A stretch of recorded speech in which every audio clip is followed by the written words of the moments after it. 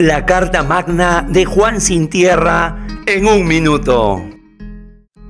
La Carta Magna es un conjunto de concesiones que el monarca inglés Juan Plantagenet otorgó a los varones el 15 de junio de 1215. Así, el monarca se comprometía a respetar los fueros e inmunidad de la nobleza, esto es, no disponer ni la prisión, ni la muerte, ni la confiscación de los bienes de los señores feudales, mientras no fuesen juzgados por sus iguales. La Carta Magna constituye la Navidad del derecho constitucional, pues por primera vez, mediante un pacto, se ponía límite al poder del monarca.